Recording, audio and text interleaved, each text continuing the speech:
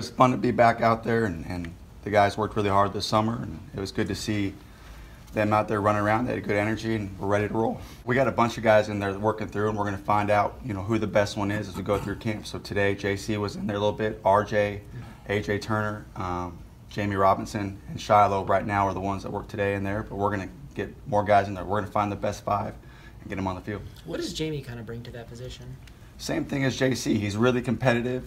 He's got heavy hands. He can cover, and he's smart. He's he's shown the ability to learn nickel and safety, and, and he, that's a good skill to have in our defense. Were you pleased with retention coming off the off-season, spring, summer work, the guys getting right back out at it? They, it seemed like they just jumped right back into it. Yeah, you know they worked hard. You know we had some time last week with them, and but they worked hard throughout the summer. I think to stay on it. They watched a lot of tape and, and what we do, so that they could be fresh today. And then the more they know at the beginning is more advantage they have knowing about what's coming offensively that can give them, you know, an opportunity to make plays. See out of him day one and what you've been able to kind of observe so far. Really competitive, um, heavy-handed, wants to wants to do well, wants to be successful. He's got a lot of traits for a successful DB. What are your expectations for Jamyest Williams?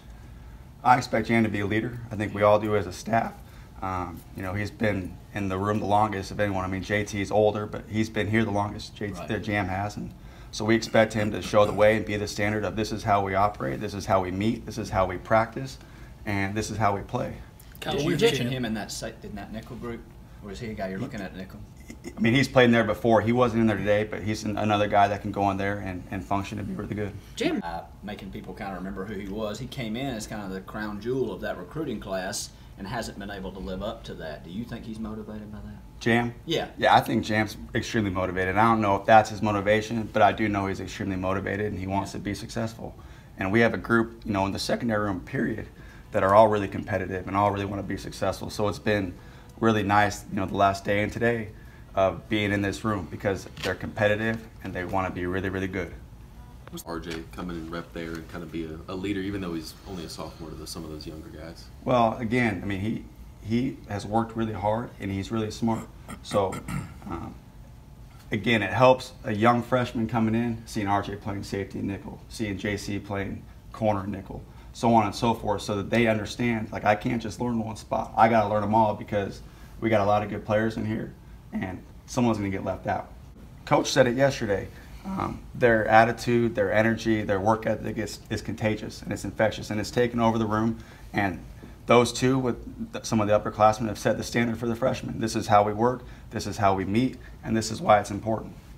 how often do you get a guy that is as mature as, as JC was when he first came on campus? Um, I mean, he's, it's rare. Yeah, it's rare. But, you know, we got a group now. I think these guys are all pretty mature and, and are the same way. So, and again, part of that maturity comes with the culture of the room. So we have a really good DB culture room right now where we have guys that set the standard and we have guys that are willing to follow the standard. Blades, when I look at him, I think that guy's a player. What's standing between him and playing more or playing a lot this year? Well, um, you know, he's got to be consistent and got to keep working. And that's the same with all of them. We can't take our foot off the gas in any of them. And the beautiful thing in, is in our room right now, we got a lot of guys that can play and a lot of guys that have played. And so, you know, the competition's on. Right. And so, and they know that. And so it's across the board, everyone. I mean, they can't, they know they can't take their foot off the gas. Uh, How, how? When you're in man coverage, as opposed to what it might have been like three years ago when you were in man coverage I in mean- a certain play. It's changed, yeah. I mean, it's changed, and, and we got a bunch of corners that we feel comfortable playing man coverage and can cover. And that's not to say we're going to play all man or all Right. zone, but you feel more confident now than, than I have have since we've been here. How does that change defensively what you're able to do? Uh, I mean, I think it's we're going to do what we can do to be successful. So if we need to play man, we'll play man. If we need to play zone, we'll play zone, and so on and so forth. But you know, it, it does give you a little bit more options about what you can do, what you feel comfortable doing. You're in that, in that group, and, and what do you kind of think you have?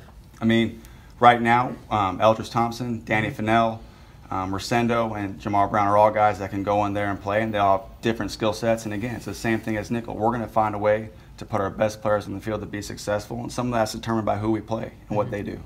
With that linebacking core as a whole, Kyle, how do you think that group played last year? Um, I think you know we got to get better, and we all know that. But they competed, and, and you know, I feel comfortable and excited about where we're going.